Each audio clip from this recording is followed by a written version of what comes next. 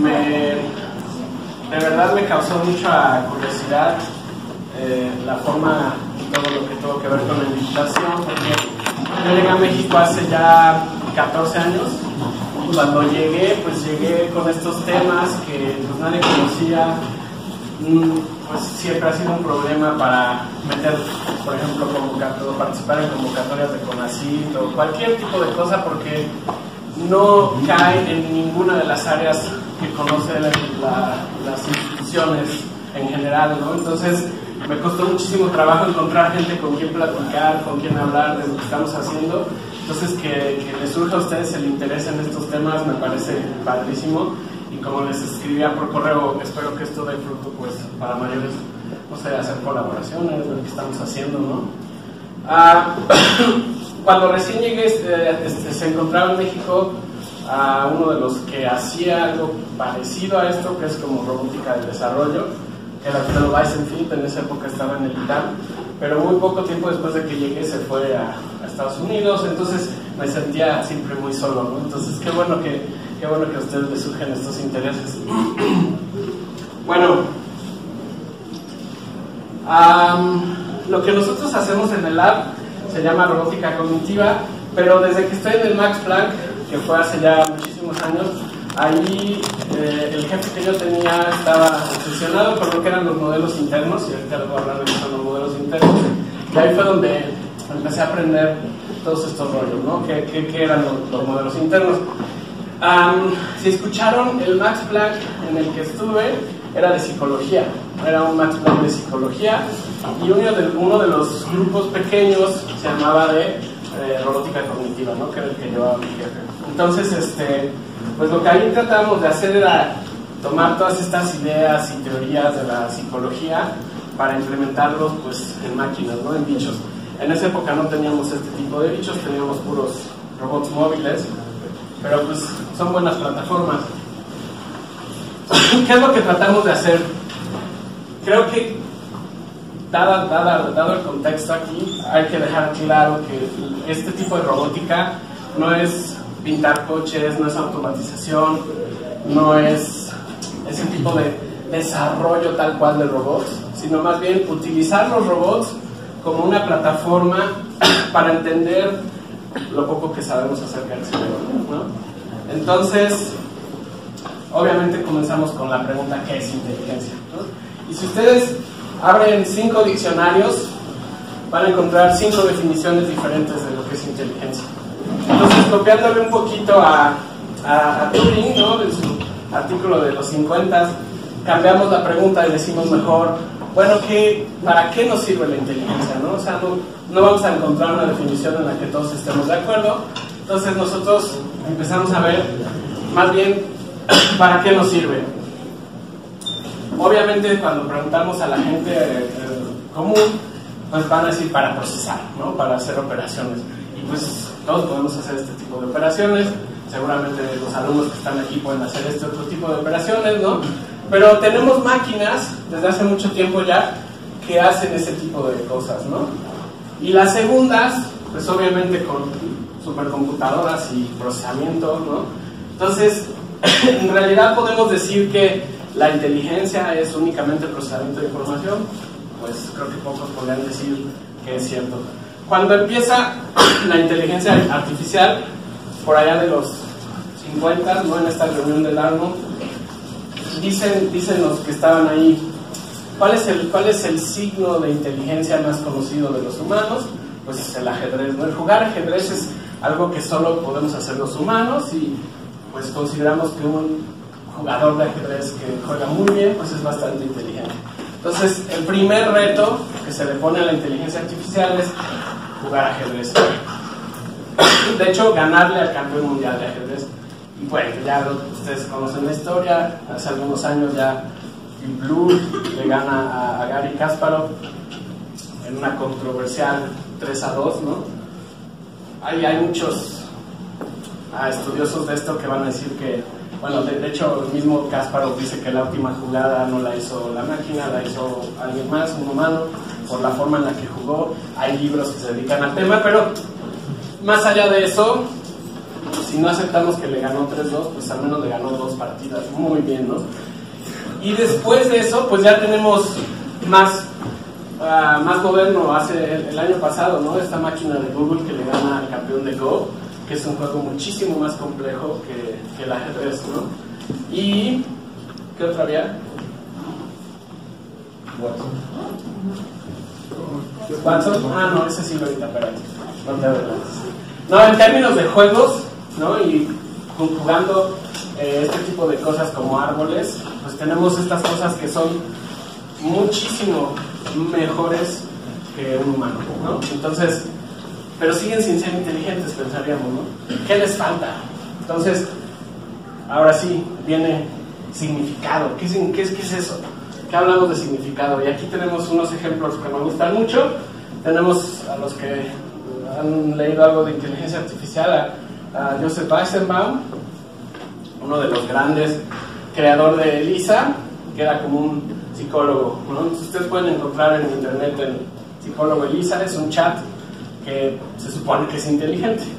Obviamente para su época, los 70s, pues no es, no parece muy inteligente. Pero ahora sí tenemos a Watson, que en el juego de Jeopardy le gana a los dos humanos que han ganado más dinero en Jeopardy. Y Jeopardy es un juego muy interesante porque es como un quiz show, ¿no? De preguntas y respuestas, pero a las personas, o sea, a los participantes, se les da la respuesta y ellos tienen que dar la pregunta. Entonces es como doblemente difícil. Y IBM logra construir esta máquina, otra vez IBM, ¿no? que, que le gana por mucho a los humanos, ¿no? Y bueno, ¿quién no ha usado Siri, que es capaz de conversar relativamente coherente, ¿no? Pero sigue habiendo el mismo problema. Es inteligente, o sea, podemos hablar de que Watson o que Siri o que Elisa es inteligente. Entonces viene al rescate finales de los 80. Ah, bueno, ahí está. Ya había dicho que lo iba a quitar, pero como no la quité, tengo que hacer la pregunta. ¿Todos saben qué es esto o no? ¿El runner? Ay, es la primera vez que alguien sabe qué es. Entonces, la prueba de Turing, ¿no? El, el, policía haciendo explotar a la máquina a través de hacerle preguntas, ¿no? Dice, bueno, eso es todo. Y viene el famosísimo cuarto chino de John Searle, si, si son familiares con esto, si no, es para mí una de las cosas más, más bonitas que ha existido como un argumento en la inteligencia artificial, en la filosofía de todo este rollo.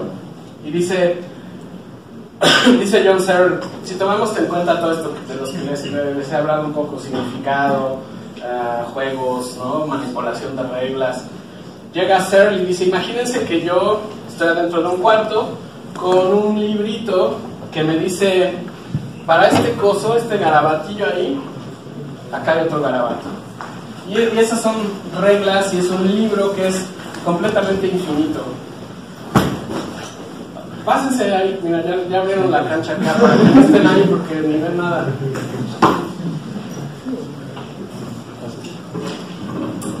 A ver, nos esperamos, no se preocupen.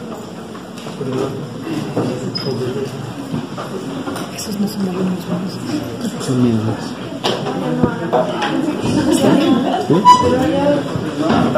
Él es tuyo. Él, él fue mío.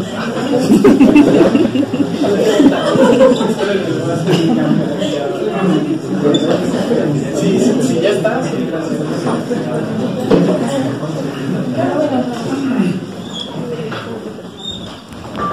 Aquí, gracias.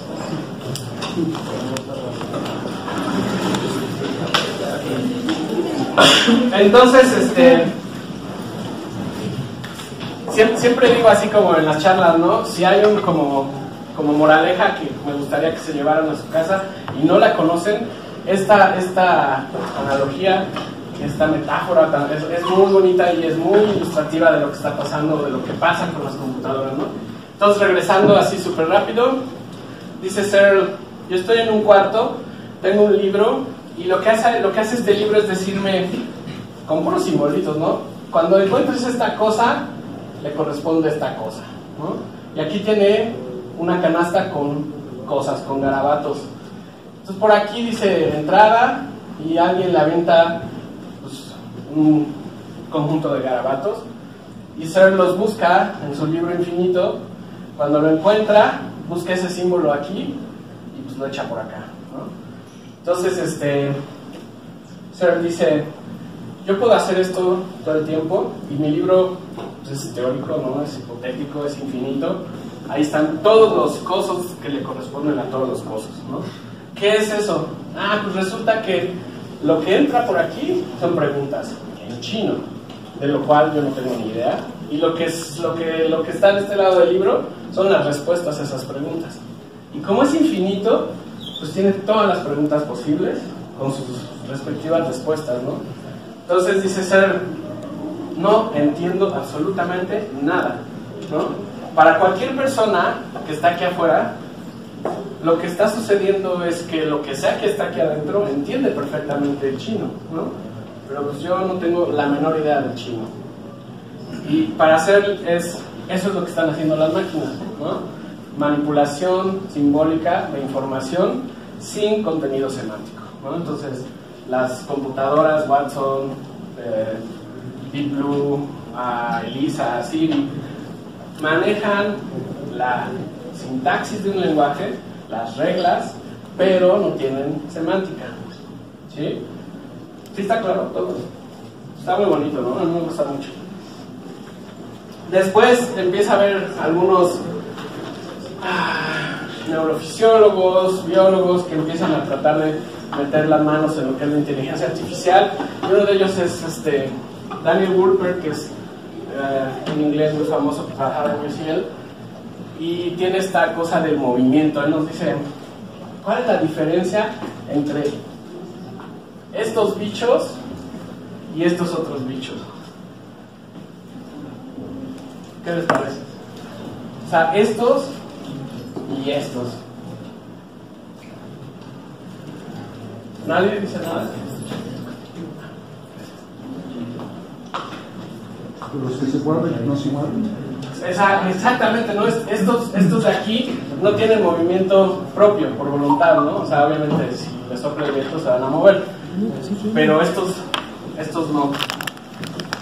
Y ya lo quité. Bueno, Daniel Wolpert, si checan sus charlas, tiene un ejemplo que cuando lo he hablado con biólogos es un poco controversial, pero él dice que existen estos bichos que se llaman urocordados, que son como, como una especie de camaroncillos que van nadando por, por, por, ahí, por muy feliz por los arrecifes y de repente deciden en sus estados de desarrollo deciden que ya se van a, a plantar ¿no? en un arrecife y dice ah, dice Wolper ¿no? se plantan y ya no se van a mover el resto de su vida o sea, lo primero que hacen es comerse su cerebro ¿no? O sea, ¿por qué? Pues porque ya no se van a mover ya no necesitan no, y Wolper tiene la broma que dice que es lo que le pasa cuando les dan tenure track a los profesores, ¿no? Es lo que pasa cuando eres SNI 3, ya, puf, ¿no? Entonces, este, yo por eso no voy a hacer nunca. Entonces, este, el problema es que dicen que los urocordados ah, es un poco más complejo eso, ¿no? Porque desarrollan otra especie como de cerebro y sí tienen sistema nervioso. Entonces, por eso ya la, ya la quité, pero es una muy divertida, aunque no sea muy estrictamente ah, real. Pero bueno, la idea es esa. Lo que dice Wolpert es, los bichos que tienen cerebro lo hacen porque necesitan moverse, ¿no? Y pues nosotros obviamente somos, somos muy buenos para eso. Entonces, aquí viene una, una disrupción de, de lo bonito. Llevo años con este problema. Si alguien me puede ayudar, se los agradecería. No sé cómo hacer pasar este GIF a otra cosa. Llevo, les juro que años, desde el 2000. Entonces, este es, una, este es una- un artículo de un colega de Max Planck, se llama Andy Forschlager. Estudiaban otras cosas, pero es un ejemplo muy interesante de cómo está mezclado la percepción con la acción, ¿no? Todo lo que tiene que ver con cognición ya no es únicamente entradas y salidas, sino es una, una, una, una afectación ¿no? bidireccional. Entonces aquí lo que vamos a ver es una cosa que se llama movimiento aparente, en donde, muy sencillo, estas cosas van a desaparecer y aquí se van a, aparecer. ¿no? Van a variar con una cierta frecuencia. Ellos lo que estaban estudiando era el ángulo que necesitas para tener ese movimiento aparente, en- en- en- eh, para verlo, y la frecuencia de, pues, de flicker, ¿no?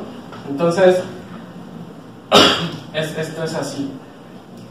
¿Sale? Todos vemos, ¿qué vemos? Que está girando, ¿no? ¿Para qué lado gira?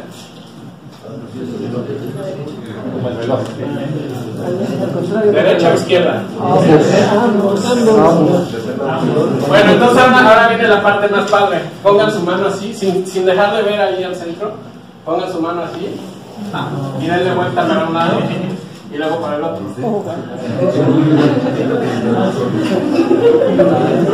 A mí todavía se me pone la piel de gallina. Se, se ve muy padre, ¿no? ¿Qué es esto? Ah, bueno, pues cómo la acción, cómo lo, lo que hacemos nosotros afecta a lo que percibimos. Si les digo el truco, pues ya, o sea, si quieren pueden hacer cualquier cosa, pueden mover los ojos y van a causar ese cambio, ¿no? Pero se ve más bonito cuando lo hacemos. Bueno.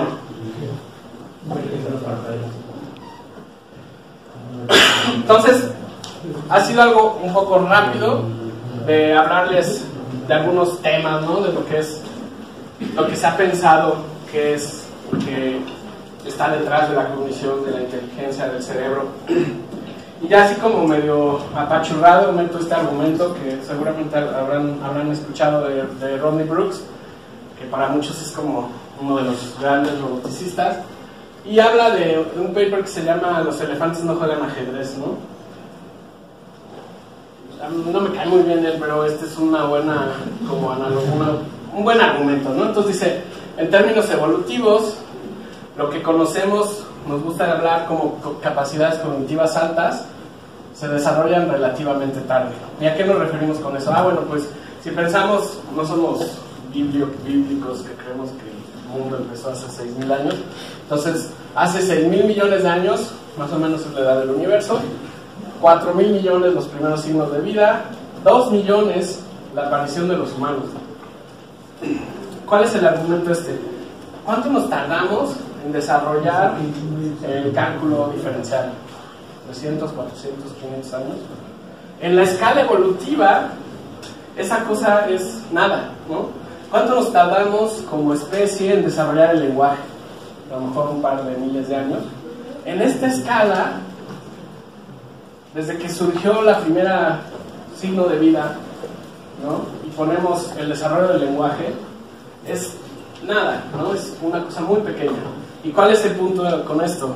Que para llegar a eso, para llegar a tener una especie que fuera capaz de desarrollar lenguaje, tuvieron que pasar y estar listas muchísimas otras cosas antes, ¿no? Entonces la parte interesante del, argumento.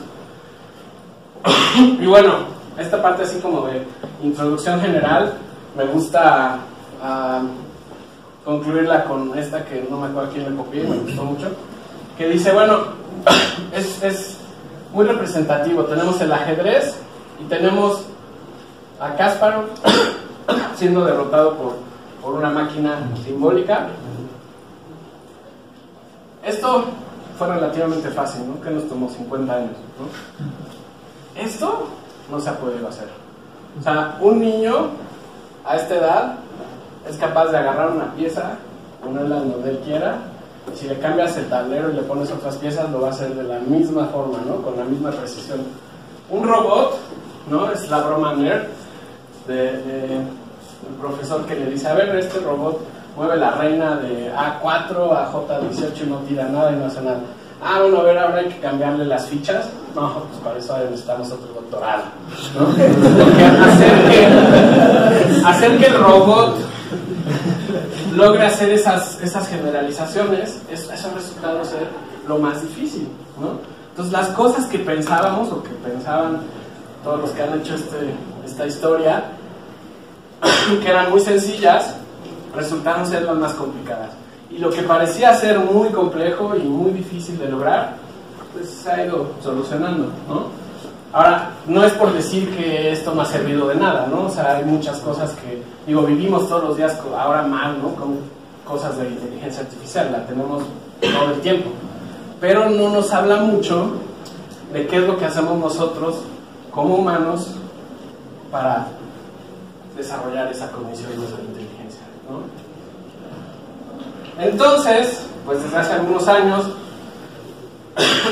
las preguntas se han tratado de cambiar un poco, o el, punto de interés, y pues yo diría que la robótica cognitiva, al menos como yo la entiendo, es, es, una, es una cosa, podemos verlo como una parte de la inteligencia artificial que trata de entender procesos básicos de cognición utilizando cosas de bajo nivel, comportamientos sencillos y usando agentes artificiales. ¿no? Nos basamos en el estudio de la cognición humana. ¿Por qué agentes artificiales? ¿Por qué usando robots? Porque pensamos que, bueno, que la, que la inteligencia no se puede dar sin un cuerpo. ¿no? La inteligencia tiene que tener un cuerpo. Los agentes inteligentes tienen un cuerpo. ¿Para qué les sirve este cuerpo? Para aprender a través de la interacción con su entorno. ¿no? Ahí tenemos algunos de los robots más famosos. Me voy a ir así súper rápido. Si empezamos a tiempo, tenemos que un media hora más. Sí. No me va a dar tiempo. Pero bueno, los robots más famosos, ¿no? Entonces, un intento de un consorcio de universidades europeas encabezadas por el Instituto Tecnológico de Italia, ah, ah, con este Giorgio Meta, desarrollar el iCube, que es un robot que es open source, todo, el hardware también. Entonces, si les sobran por ahí 200 mil euros, pueden construir uno de estos comprando las piezas, bajan los planos y es hermoso. Es únicamente utilizado para investigación, hay alrededor de unos 20, 30 en todo el mundo, en universidades, y lo van mejorando poco a poquito, ¿no? Entonces, última versión, que creo que es parecida a esta, ya tiene lo que se llama piel artificial en los antebrazos y en las manos, tiene los dos ojos independientes, tiene cerca de 60 motores, o sea, 60 grados de libertad, es, es bastante interesante, bastante bonito. Ah, los Nao, que eran originalmente franceses, ya los compró una empresa japonesa. Ah, se siguen produciendo ahí cerca de París. Y son muy utilizados gracias a, o sea, se volvieron muy populares con esta onda de la Robocop. ¿Sí han oído hablar de eso? Que son robots que juegan fútbol. Muy divertidos, de verdad se los recomiendo. Puedo contar muchas cosas de eso, pero no, no hoy. Y su primo, que nadie quiere, que es el Darwin, que es gringo, ¿no? a Asimo, que es el más famoso, que también tiene unas anécdotas muy interesantes. A- desarrollado por Honda, el problema es que tiene muchas cosas que son como cerradas, entonces, bueno. a- a- siempre me olvida cómo se llaman estos. A Ivos, ¿no? De Sony, que eran los previos a los Nao en el fútbol. Y así como el dios de la robótica, del desarrollo de la robótica cognitiva, Minoru Asada, que trabaja en la Universidad de Kioto, tiene estos robots horripilantes, ¿no? Este se supone que es un bebé de seis meses, y lo que él dice es, lo que él trata de hacer es que tengan las capacidades físicas, ¿no? Ah, de, un bebé de esa edad. Igualmente el, el, el, el trata de imitar lo que puede hacer mm, en términos motrices un niño de aproximadamente 7 años, ¿no? Esa es la idea. Ah, bueno.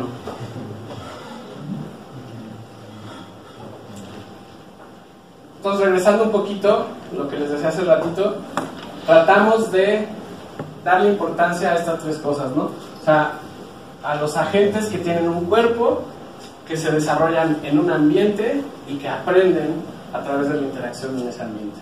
¿Ok? Y como les decía, desde el Max Planck en esas épocas lo que nos interesaba o nos parecía que era algo muy importante, que era fundamental en, en esta cosa que es como la cognición, es algo que se conoce como modelos internos. ¿Qué son los modelos internos? ¿Llevan control aquí, los chavos? ¿No? No. Ok. Entonces, lo voy a tratar de explicar en los términos más, más sencillos, ¿no? Entonces, imagínense un cuarto, supongo que todos tienen un cuarto como este, ¿no? Eh, entonces, tenemos un termómetro y tenemos un calentador, ¿no? ¿Qué hacemos?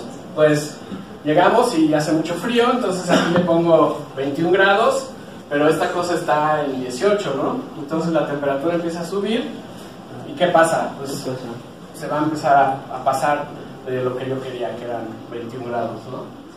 ¿Por qué? Pues porque el calor no es un sistema de control, etcétera, etcétera, ¿no? Esto, bueno, ahorita lo vamos a ver. Bueno, no, imagínense, esta es la temperatura, nosotros le llamamos ST, que es la temperatura actual, y la temperatura deseada le llamamos ST más 1, ¿no? La, la temperatura que necesito al tiempo siguiente. Y hay algo que le llamamos comando motriz, que en este caso es un MT, que es prender el, calentador, ¿no? O la caldera, o lo que ustedes quieran. Lo que sucede normalmente en teoría de control es que tenemos esta cosa que se llama modelo inverso o controlador, en donde yo le digo, ah, pues tengo esta temperatura y quiero llegar a esta temperatura, ¿qué hago? No, pues ponle, dale ocho vueltas al termostato, ¿no? Y en un sistema de control lo que sucede es esto, ¿no? Lo que les decía, pues la temperatura empieza a subir, se pasa del, estado que yo deseo, y luego regresa, y luego otra vez, hasta que encuentra un, un punto, ¿no? En donde ya está la temperatura que queremos.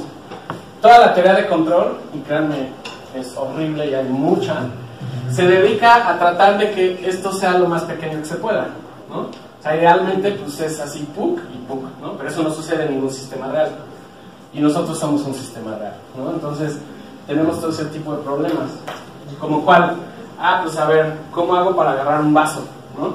Yo tengo que desarrollar una trayectoria y estoy compuesto de cosas motrices que necesito mover para poder llegar al, vaso, ¿no?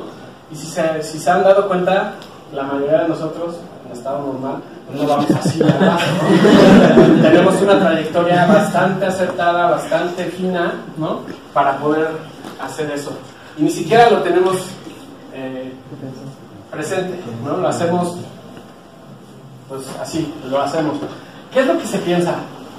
Bueno, pues llegaron los neurocientíficos, desde filósofos, antes de que me regañen, eh, que dijeron, ah, bueno, es que a lo mejor existe una cosa que hace predicciones. Se me olvidó mencionar algo. Cuando hacemos estas, estas cosas, en un sistema de control como este, ¿qué es lo más importante? Lo que, es, lo que se llama retroalimentación, ¿no? O sea, yo necesito saber cómo está esto para saber si apago y luego vuelvo a prender.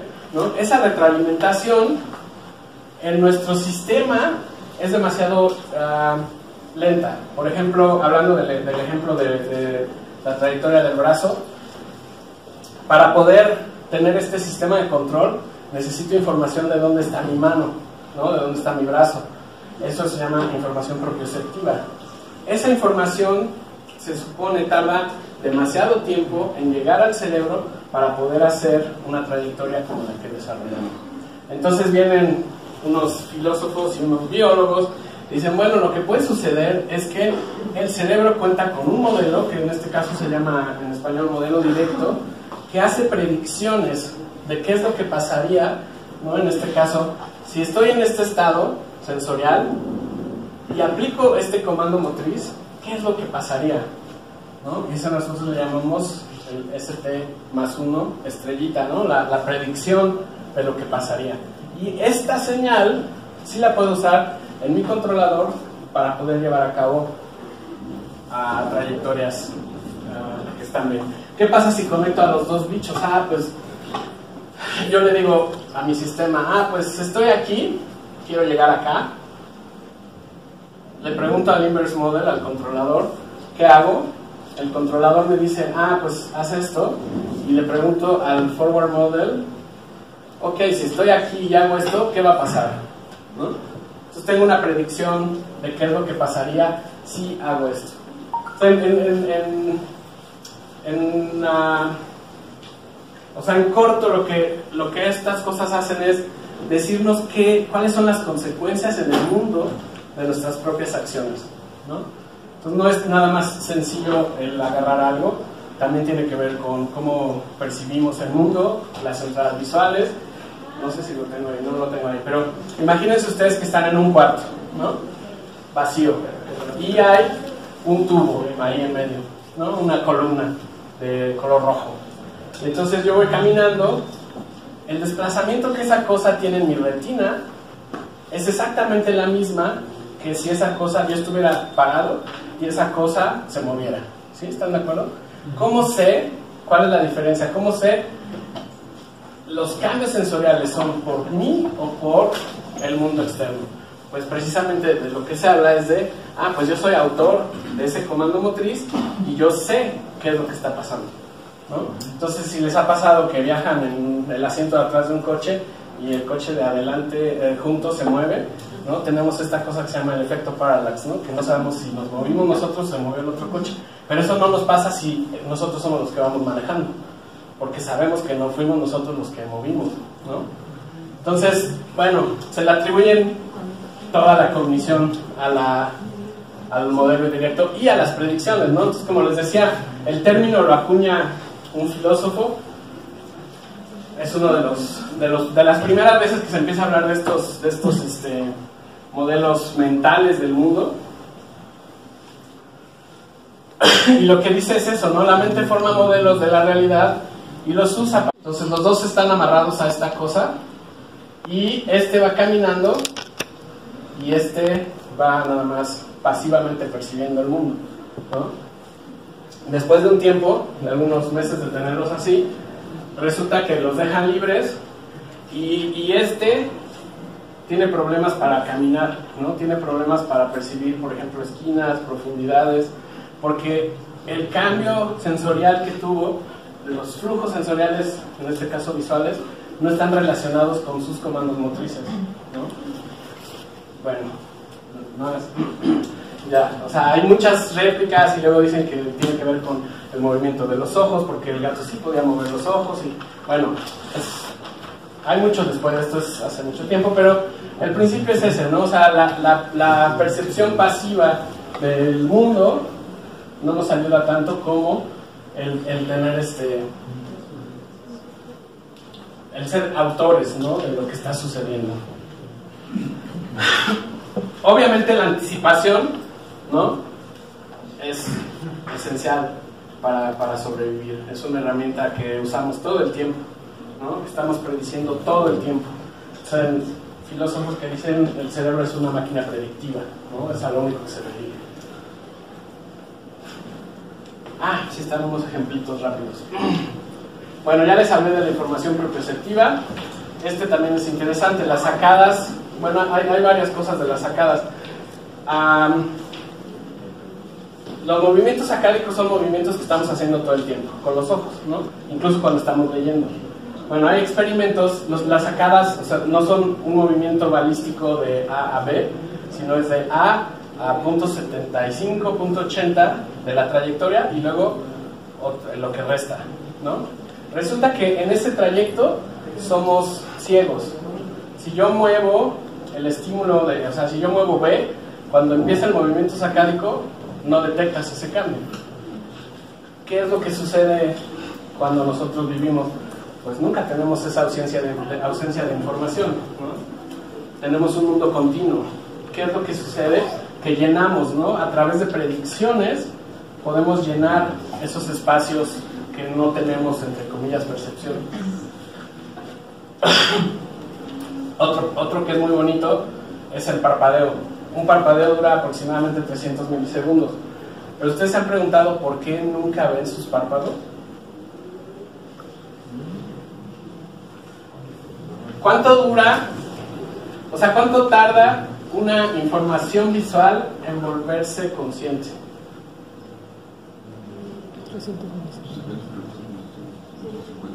Entonces, aproximadamente 150 milisegundos es lo que se necesita para que procesemos la información y sea consciente. Entonces, ¿por qué si un parpadeo dura 300 milisegundos, por qué no lo vemos? Porque la respuesta más rápida es, ah, pues es que es bien rápido el parpadeo, ¿no? Pues no es tan rápido, pero nunca lo vemos. Entonces, ¿cómo, lo, ¿cómo lo probaron? Fue pusieron a sujetos, les apagaban la luz 300 milisegundos y eso sí lo detectaron, ¿no? O sea, se apagaron las luces. Pero los parpadeos no. ¿Por qué? Pues porque somos autores nosotros mismos de ese comando motriz que cierra el ojo. Entonces, se llena, ¿no? Se rellena la información con predicciones, ¿no? Bueno, entonces, súper rápido, no, no, no entraré si quieren, después podemos hablar de detalles o sea. un poquito tarde. ¿Sí? Sí, pero apenas va a la mitad, entonces no los quiero, no los quiero aburrir. Entonces, este, implementaciones que hemos tenido en el lab. Son unas cuantas nada más. Tenemos un paper apenas salido este año que habla de aproximadamente 10 años de trabajo de laboratorio y vienen un montón de nuestros experimentos. Aquí están todos los autores. Este, está muy bonito en la revista de Tom Frost de Adaptive Behavior, si les interesa se los podemos enviar. Bueno, es Open Access, pero está todo, una gran cantidad de todo el trabajo que hemos hecho. este, Tom Frost hizo un, special issue de, este journal que se llama Foreign Cognition in Mexico, ¿no? Entonces todo lo que tiene que ver con estos temas un poco relacionados y la gente que está trabajando estos temas aquí en México. Entonces, súper rápido. Otra vez el forward model. Este me gusta mucho, bueno, obviamente todos me gustan mucho. No sé si este es mi consentido. Lleva cinco años en el borrador este paper, ya va a salir ahora sí. ¿Qué, ¿Qué, hicimos? Al forward model, como les decía, le entra un ST, ¿no? En este caso el ST es una imagen izquierda y una imagen derecha y el comando motriz es puedo ir a la izquierda, a la derecha o hacia enfrente. ¿no? La predicción son las imágenes del tiempo siguiente y algo que es interesante, nosotros le llamamos una representación multimodal, está haciendo una predicción táctil.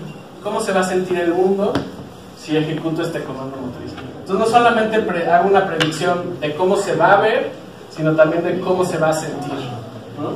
Entonces, ¿qué hacemos? Ponemos, en este caso, al, Pioneer, es un robot, eh, es este, con una cámara estereoscópica aquí enfrente, con obstáculos rojos alrededor, a diferentes distancias. Entonces empieza a mover, choca, se regresa al centro, se vuelve a mover, empieza, choca. Lo que está aprendiendo el robot es como una especie de qué pasa cuando me muevo, qué pasa con el mundo cuando me muevo. Ah, bueno, pues si está muy cerca un obstáculo, y me muevo para allá, pues choco con él, ¿no? Ni siquiera podemos hablar de choco con él, simple y sencillamente mis sensores táctiles cambian de estado. Estaban en un estado cero y cuando cambia el mundo de esta manera, entonces están en un estado 1, ¿no? Para no, no darle, darle agencia a las cosas, ¿no? Entonces, tenemos este, este experimento en donde el robot está enfrente de estos obstáculos. Por este pasillito no pasa, por este pasillito sí pasa. el robot utiliza esta predicción otra vez como entrada y luego hace otra predicción, la vuelve a utilizar como entrada. ¿Qué es lo que sucede? O sea, el robot antes de moverse hace como una especie de árbol y dice, ah, ok, si me voy izquierda, izquierda, izquierda, mis estados táctiles no cambian. ¿Qué significa eso? Pues por ahí puedo pasar. A ustedes les pueden decir, y hay muchos experimentos acerca de eso, pasas por esa puerta, ¿no? Y ustedes no necesitan decir, ah, bueno, yo mido 74 centímetros, la puerta mide como 80, si paso. No tenemos ese conocimiento, no lo necesitamos. Sin embargo, somos bastante eficaces, eficientes en hacer ese tipo de, de juicios. El sistema está codificado con no sé cuántas, 30, ya no me acuerdo, redes neuronales normales, multilayer perceptrons, la imagen eh, izquierda, la imagen derecha, el comando motriz, son predictores locales. ¿Qué significa? Esta red toma este pedacito de la imagen este pedacito de la imagen y hace una predicción de este pedacito y de este pedacito de las imágenes al, al siguiente tiempo y del espacio táctil, ¿sí? de lo que siento. Y luego se ve un poco así. Entonces, cuando tiene un obstáculo enfrente, nada más, y este es un movimiento hacia enfrente, ¿no? Entonces dice, esto es lo único que vio el robot, ¿sí? Y después estas son predicciones. Ah, pues al tiempo T más 1, el mundo se va a ver así. Si me muevo otra vez hacia, la, hacia enfrente, se va a ver así, luego se va a ver así, se va a ver así. Logramos algo así como 12 predicciones, obviamente sin que pues ya el error fuera demasiado grande que ya no tuviera sentido.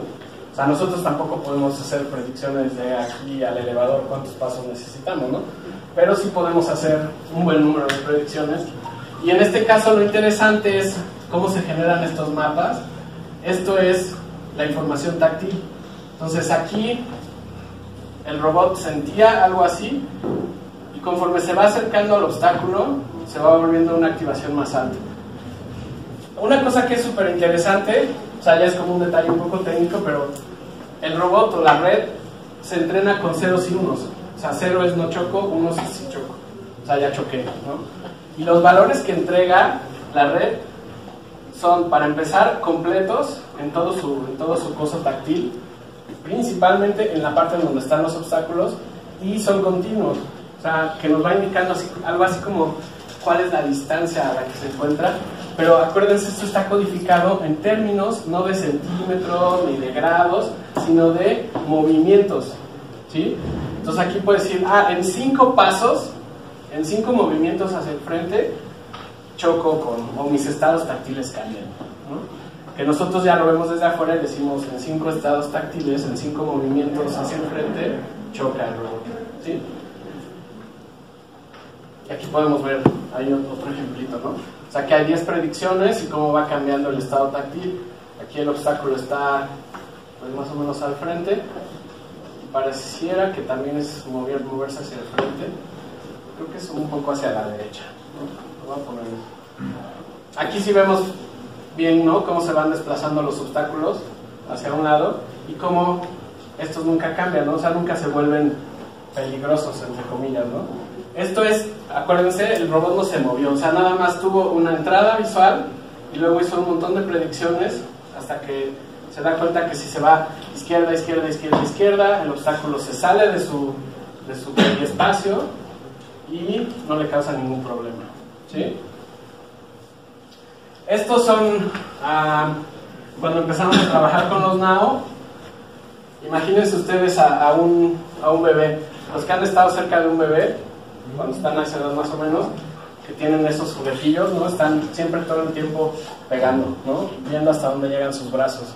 Entonces, si resulta que veo esta cosa verde, la, la, o sea, la tengo en mi mirada, en mi información visual, y después estiro el brazo y lo logro agarrar, ya es un super éxito, ¿no? Y todavía si lo jalo y lo puedo chupar, ya es una cosa multimodal que está generando un modelo interno. O sea, nosotros decimos, ah, ya está aprendiéndose su modelo directo, ¿no? ¿Qué significa? Pues está aprendiendo cuáles son sus capacidades motrices y sus efectos en el mundo y en lo que sensa. Entonces quisimos hacer algo similar con el Now.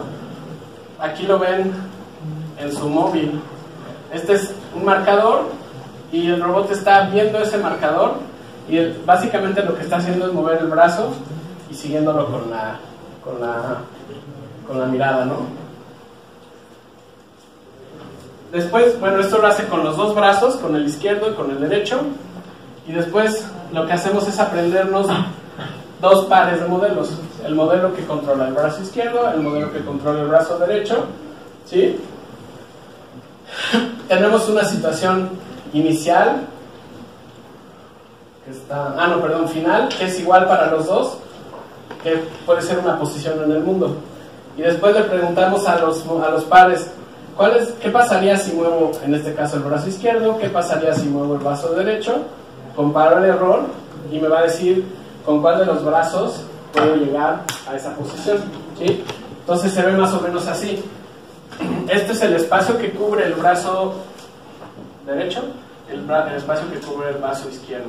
Cuando después le pongo un marcador en esta posición, pues el error, o sea, la resta, e- e- es, esta comparación me dice que el que gana es el brazo izquierdo, ¿no? Y esta que el que gana es el brazo derecho. Pero nosotros no solo lo hacemos así, o sea, no sé si han estado bajando aguacates, agarran una vara y le pican, ¿no? Y lo integramos muy rápido a nuestro sistema, ¿no? A nuestro modelo. Lo mismo cuando manejan mucho tiempo, se integra el coche a su modelo, ¿no? Yo hasta cuando paso los topes sufro, ¿no? Entonces, saben exactamente cómo deben dar vuelta hasta dónde llega el coche. Algo similar y, bueno, más sencillo, el uso de herramientas. Hay muchos, muchos este, experimentos con chimpancés, por ejemplo. ¿Qué tan rápido podemos aprender a, manejar una herramienta? Entonces, aquí lo que, lo que hicimos fue poner lo mismo, pero ponerle el marcador al now más lejos.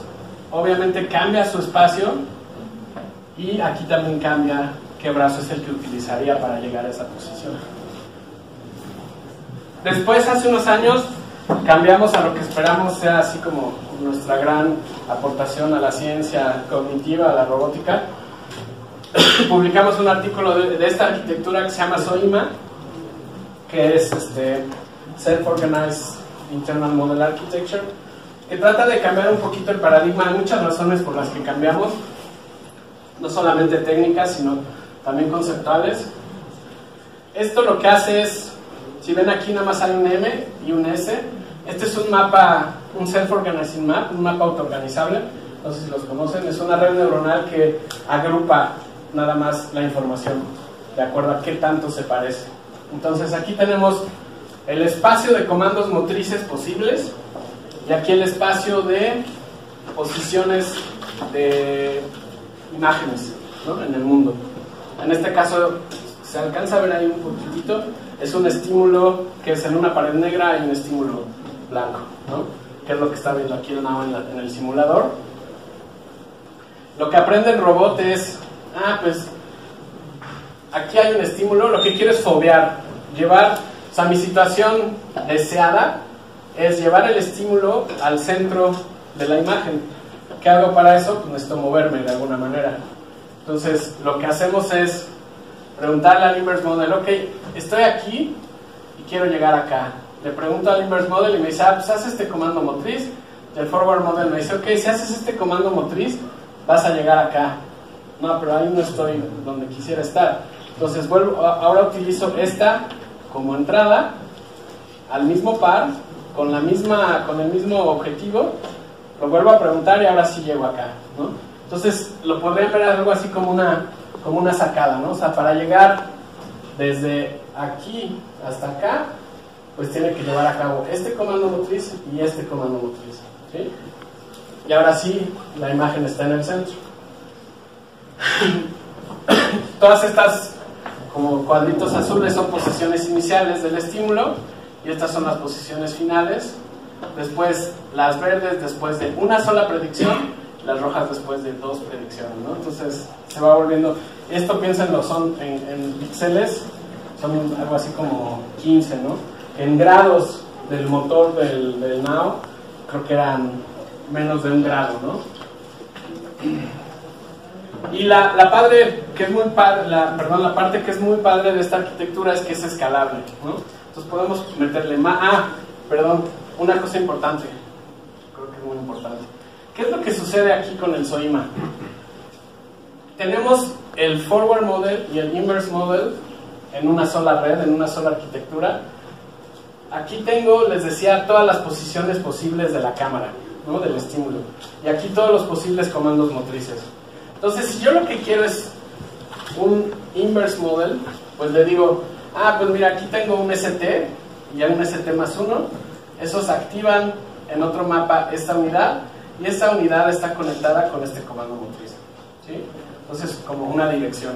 Pero si lo que quiero, mi pregunta es, ah, quiero que el forward model me haga una predicción, entonces yo tengo mi comando motriz y mi situación sensorial y esa tripleta está asociada aquí arriba a un ST más 1. Entonces, funciona como ambas cosas y lo que se está aprendiendo es, bueno, esto lo hace a través de aprendizaje geviano Cuando estas cosas suceden juntas, se asocian con este comando motriz. O cuando este comando motriz y esta situación sensorial suceden en el mundo, se asocian con esta. Entonces las conexiones se van reforzando y las tripletas se asocian, o sea, se, forman regularidades. El Soima lo que hace es encontrar regularidades en lo que está viviendo, en lo que está haciendo el robot. Entonces lo podemos llevar a otras modalidades. Aquí tenemos cambios en la posición de la cabeza, cambios en la posición del marcador, uh, la posición absoluta de la cabeza y la posición del brazo. Y lo que logra hacer el robot es lo que ustedes quieran. Si yo le pongo el marcador aquí, puede llevar el brazo y después fijar la mirada en ese punto. Después hicimos uno de, de trayectorias, o sea, si nos imaginamos que eso puede ir escalando en la complejidad de los movimientos, por ejemplo, aquí tenemos varias posiciones en el espacio, el, el S que teníamos antes. ¿Qué pasa si agarramos estos cuatro, los asociamos como una trayectoria? Entonces ahora ese movimiento, ¿no? este movimiento en el espacio se ve como estas cuatro unidades en las posiciones del brazo y se asocia a un mapa, a un mapa más arriba que me, que me codifica esa trayectoria. ¿no? Y así se puede ir volviendo más complejo. Este es, un, este es el mapa de todas las trayectorias, entonces tenemos que esta rojita pues, está codificada acá, esta verde aquí. Perdón, este es el espacio del robot, ¿no? En 3D. O sea, el eje es el Y y el Z. O sea, el, X es el que está en la, en la distancia. Bueno. ¿Este qué es? Ah, este es... ¿Qué pasa? Si soy yo... ¿Qué, qué, qué es lo, lo, que les decía hace rato? Una cosa que podemos saber de... o que nos pueden servir los forward models es... Ah, pues soy yo el que hace las cosas en el mundo o es otro. Entonces lo que hicimos aquí fue poner al now, aprenderse sus movimientos, su velocidad, de cómo se, cómo, cómo se mueve en el mundo con un marcador y después lo pusimos a observar a un puma, entonces otro robot, haciendo lo mismo, ¿no? Entonces, lo que se aprende el robot, aquí tenemos uh, dos ejemplos, ah, no, perdón, este es el now, tenemos la posición de la mano y su, su, su firma, ¿no? De velocidad, cómo se va moviendo en el mundo. Y este es el, este es el puma, desarrolla la misma posición, o sea, los mismos movimientos, pero su velocidad es diferente, ¿no? Lo que hace es, perdón, aprenderse a través del forward model. Si el error es muy grande, o sea, yo hago una predicción. Si el estímulo se está moviendo de una manera, yo hago una predicción. Si la predicción se parece a lo que sucede en el mundo, entonces es que fui yo. Si no se parece, entonces a lo mejor no fui yo. No me veas feo. Es que ella está haciendo un doctorado precisamente en, en, tratando de atacar esa teoría de nosotros. Pero la queremos de todas maneras. Es muy controvertido, pero sí es una de las, una de las, uno de los componentes principales para la agencia, o sea, para el sentir que nosotros somos los que hacemos cosas en el mundo, pues es precisamente que haya una congruencia entre lo que predecimos que va a pasar y lo que pasa en el mundo. ¿no? Bueno, entonces ahí se acaban los modelos. Esto ya está un poco así mezclado, lo voy rapidísimo. Uh, hay un trabajo seminal de Sara Mitri que habla de veneno y comida en los robots. Estos son trabajos de robótica evolutiva. También hice un postdoc en robótica evolutiva, me gusta mucho. Y ahora ya tenemos poder de cómputo y buenísimos estudiantes que pueden programar. Esto es relativamente difícil para programar, bueno, es pesado y por eso no le habíamos entrado mucho. Entonces lo que hicimos aquí es todo en simulación. Hay 10 robots, esta cosa es comida, esta cosa es veneno. Los robots tienen una cámara eh, omnidireccional y tienen LEDs. La idea es que solo pueden ver la luz roja, esto es como si fuera una torreta de luz roja, y en el piso hay un sensor, perdón, hay un color, este es negro y este es gris, y los robots cuando se acercan aquí pueden sensar que esto es negro, y cuando se acercan aquí pueden sensar que esto es gris. Se supone que cuando están aquí, su fitness incrementa, ¿no? Es como si hubiera comida. Si están aquí, su fitness decrementa, es como si fuera veneno. Entonces, a través de muchas generaciones, lo que sucede es que, o lo que queremos que suceda es que los robots les digan a los otros robots dónde hay comida o dónde hay veneno. ¿no? Entonces, bueno, esa fue una tesis de maestría. Ahora aquí Tlaco está trabajando en el doctorado en cosas parecidas. ¿Saben qué es un algoritmo genético? Se los cuento súper rápido. ¿Sí saben todos? Ok, entonces. bueno, tenemos, generamos genotipos que son algo parecido a los genes. Se convierten en fenotipos, en este caso pesos en una red neuronal. Se ponen a vivir en el ambiente. Se evalúa su desempeño después de haber vivido. Se hace una selección, cruce y mutación y se vuelve a generar una nueva población. Entonces, lo que es es un proceso de optimización. ¿no? Se usa una red neuronal muy sencilla, el sensor del piso, comida o veneno, la cámara, los colores rojos y azules, divididos en cuartos de los 360, y la velocidad de los motores, y si prendo o no prendo mi LED. Esa es una red muy sencilla. Estos son unos de los resultados. Si se imaginan que estas ya son pruebas, ¿no? Entonces yo dejo vivir a los a un robot o a un conjunto de robots a 100 ciclos, imagínense. Este es el fitness de toda la población, estos son los 100 mejores de, no sé, 600 corridas, lo que sea. Esta es la luz que emiten, o sea, el, el moradito este, fuera de la región de interés, o sea, cuando están por ahí dando vueltas. Cuando están en la comida, emisión en comida, esto es lo que nos interesa, ¿no? Todos estos, este, este, esta, este porcentaje de su vida emitieron luz azul mientras estaban en la comida, ¿ok? Y en el veneno, pues hubo unos ahí locos que decían, aquí hay comida, ¿no? Le decían a sus, a sus compañeros.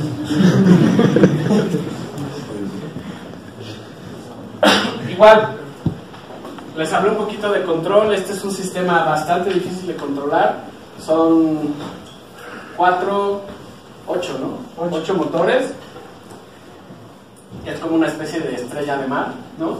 Igual, con algoritmos evolutivos optimizamos un controlador para que caminara. Lo construimos con la impresora 3D. Y no tengo un video, pero se aprende, aprende a caminar, ¿no? Bastante pues bastante bien para... O sea, no, no metimos absolutamente nada de control tradicional, PID, bla, bla, bla. Esta cosa aprendió a caminar con algoritmos evolutivos. ¿Cuál es su fitness? Pues el que camine más, ¿no? El que se desplace más. Y bueno, ya con eso terminamos. Hay una muestra de lava hace unos años, no, bueno, un año más o menos, ¿no? Entonces, este,